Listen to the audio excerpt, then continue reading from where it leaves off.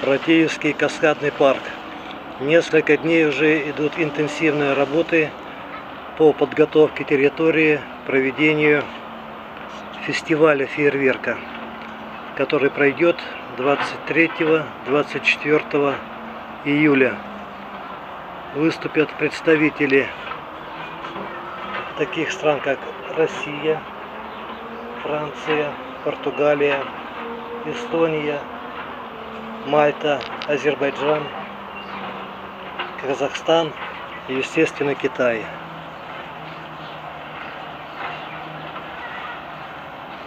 Планируется, что будут э, дневные и вечерние сеансы. Ну, посмотрим.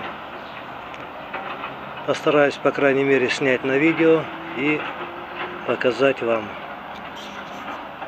Ждем. -с.